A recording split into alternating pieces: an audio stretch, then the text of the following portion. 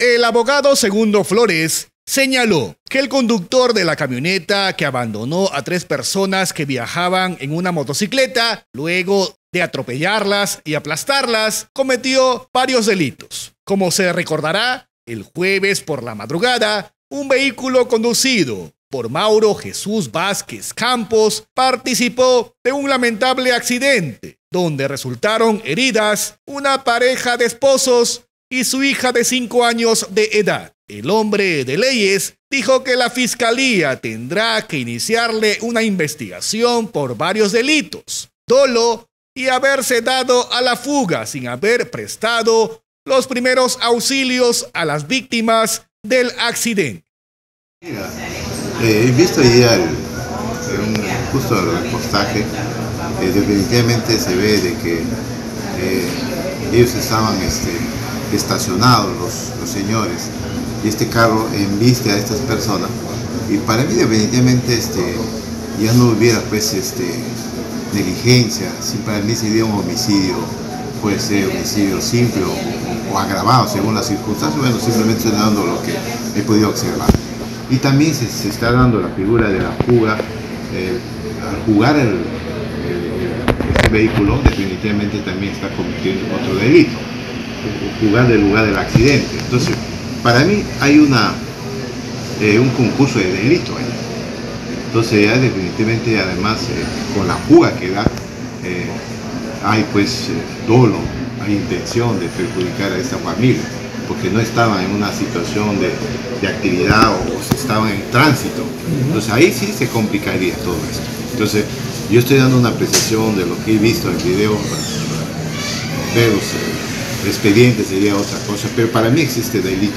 Doctor, al parecer la camioneta le enviste a este... Claro, le enviste porque aparentemente ellos estaban, estaban este, costados. Entonces, al ser la fuga, eh, se convierte en varios eh, delitos, concurso de delito, homicidio simple o puede ser agravado. Y bueno, definitivamente la fuga, ese es otro delito. Estando, eh, habiendo accidentado el fuga, también entonces por eso hubiera. Asimismo, indicó que si bien es cierto, en el tema de fuga existe una pena no menor de seis meses ni mayor a cuatro años, sin embargo, podría sumarse en premeditación, convirtiéndose en un delito de tentativa agravada. Por supuesto, por eso eso ya es algo ya le, agrava la situación de la infracción, de la, de la falta. Aunque, eso, aunque definitivamente si nosotros vamos solamente con el tema de la fuga, eh, estas son penas pues este, de seis meses a, cuatro años, son, eh, penas pequeñas, pero sin embargo, sin embargo, a ver un concurso ya se suma pues tanto el homicidio como la fuga, entonces sería un poco ya más este, complicado. Y creo que las autoridades, eh, tanto fiscalía, policía, tienen que hacer investigaciones porque definitivamente hasta ahora creo no se da con el paradero de esta, de esta persona eh, que ha cometido este, para mí este homicidio. Al parecer sería, ¿no? Este, premeditado. De homicidio. Finalmente, segundo Flores, manifestó que es tiempo que desde el Comité de Seguridad Provincial de San Martín, conformado por todas las instituciones públicas y privadas, comiencen a trabajar para disminuir los accidentes de tránsito, porque en menos de una semana se registró varios hechos. Indicó que el alcalde no puede permitir que nuestra ciudad se convierta en una ciudad descontrolada. Bueno, aquí hay varias eh, corresponsabilidades de autoridades. Eh, tú sabes de que la policía, si bien es cierto, no solamente son los encargados de la seguridad, eh, en, cuanto a la provincia, en cuanto a la región, las autoridades del gobierno, también yo creo que se debe retomar ya una reunión este, integrar entre lo que es poesía, lo que es municipalidad, lo que es, lo que es UGEL, todas las entidades, su prefectura, todas las entidades, migraciones, porque definitivamente Tarapoto eh, ya es una ciudad cosmopolita, ya, ya no es de los tarapotinos, es de mucha gente que ha venido, bien cierto, han venido a hacer trabajo, hay otros que no hacen ese tipo de trabajo, sino hacen tipo actos delincuenciales, ya tiene que haber control.